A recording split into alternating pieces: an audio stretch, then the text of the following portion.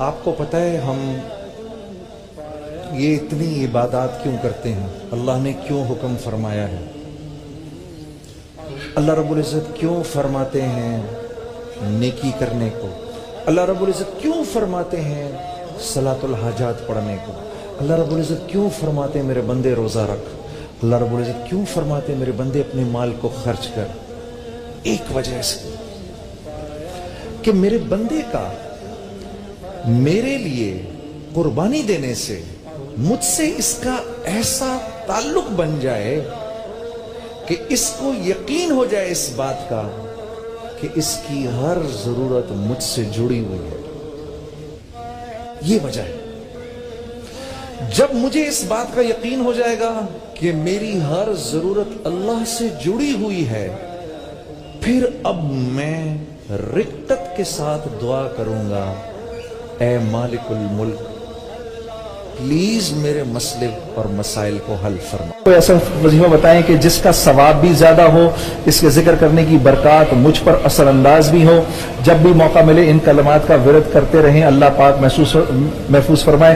ये भी मसनून है सही बुखारी और मुस्लिम। बड़ी अल्लाह की शान ये है कि ये वजीफा ये जो मेरे भाई ने पूछा है ये मेरा अपना आजमाया हुआ है। अच्छा। जी। तो सदीक भाई और तमाम बहन भाई सुने और टेलीविज़न के ऊपर ये बहुत ताकतवर वजीफा बता रहा हूँ। इसके बारे में अल्लाह के नबी का इरशाद है, दो जुमले ऐसे हैं, ज़ुबान पे बहुत हल्के हैं, लेकिन मीजान पर बहुत भारी हैं। ये उनमें से है, जोहर की नमाज़ अपना फजर की सुन्नत और फर्जों के बीच में सौ दफ़ा जो ये पड़ेगा सुबहान अल्लाह वबी हमदी ही सुबहान अल्लाह अजीम। इसकी बरकत तो बेशुमार हैं ये जुमला कहते हैं कि ये जुमला, ये मुझे कंफर्म बात नहीं है, लेकिन कहते हैं कि ये जुमला, ये वो वजीफा है जो जानवर पढ़ के सुबह को बाहर निकलते हैं और भरे पेट वापस आते हैं। सुबहान अल्लाह वबी हमदी सुबहान अल्लाह अजीम इसका विरत करिए, फजर की सुन्नत और फर्जों के बीच में अल्लाह आपकी ज़िंदगी बदल देगा। इसमें इतनी इतनी बरकत घर का वाहिद कफील हूँ। आमदनी महदूद और अखराज ज़्यादा हैं, इसके हल के लिए कोई वजीफा ये ये सूरह सूरह आल इमरान की ये आयत है रबना ला तुज़ बना बादज हदई तना वहबलना मिल्लदन का रहमा इन का अंतल वहाब। नबी करीम सल्लल्लाहु अलैहि वसल्लम से ये साबित है। ये आल इमरान की आयत नंबर आठ है। ये भी हर नमाज़ के बाद, बल्कि मैं तो ये कहूँगा कि इसको आप जब अतयात में बैठते हैं तो रब्बना आतना फिर दुनिया से पहले इसको पढ़ लिया करें।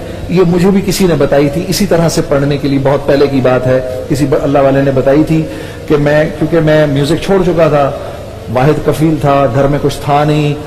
चीज़ें बिकना शुरू हो गई, सब कुछ। तो मैं बहुत टेंशन में रहता था कि मेरी तो इतना ज़बरदस्त लाइफ था, ये क्या हो रहा है मेरे साथ?